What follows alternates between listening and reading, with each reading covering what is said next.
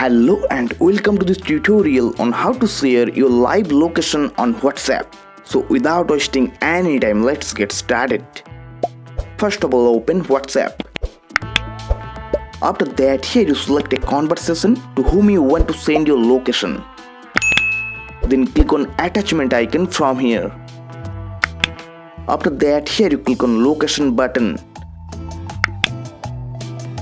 then here you can send your current location by clicking on send your current location option from here. But this feature does not give your exact location. So here you just click on share live location option. Now you can see your current location from here.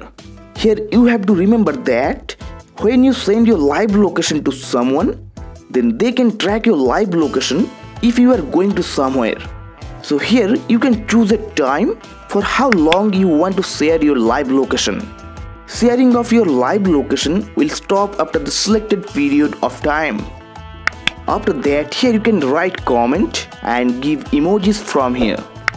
If you haven't subscribed this channel then subscribe to it and press the bell icon to get notification of new videos. Then click on send icon to send your live location. Now your live location has been sent. Now as an example, if the recipient click on the view live location option, then he can easily see your live location and also tracking you. Okay guys, if you found this video helpful so please leave a like.